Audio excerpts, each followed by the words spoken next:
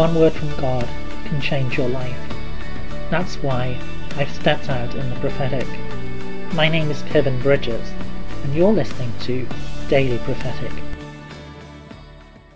I see a farmer at work.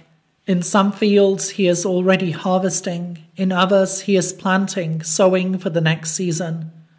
And the Lord says, I am the Lord of all, the Lord who is watching over the details of your life. I am the Lord who is sowing seeds for the next season, and the Lord who is bringing to harvest that which is ready for this time.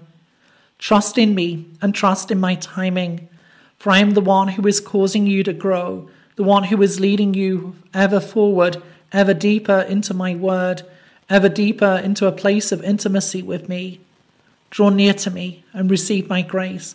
Draw near to me and receive my refreshment and my peace in this time. For I am the Lord who fills you anew. I am the Lord who extends my hand of blessing over you. Would you like a personal prophetic word? Check out the website in the description below. Don't forget to subscribe to get your daily word of encouragement. And whilst you're here, why not have a look at some other of the videos that I've made? God bless you and have a really great day.